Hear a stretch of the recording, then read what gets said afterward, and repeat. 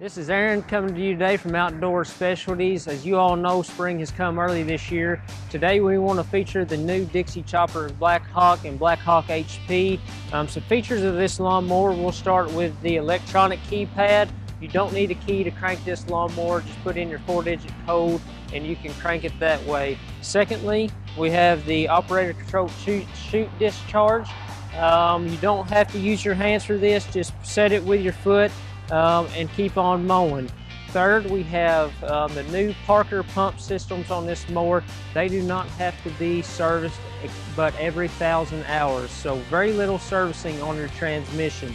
This mower is also available with Kawasaki and Kohler engines and a 7 gauge fabricated deck. Um, it's a great mower, commercial mower, great for both homeowners and professionals alike. Come see us today at Outdoor Specialties and take a free test drive today.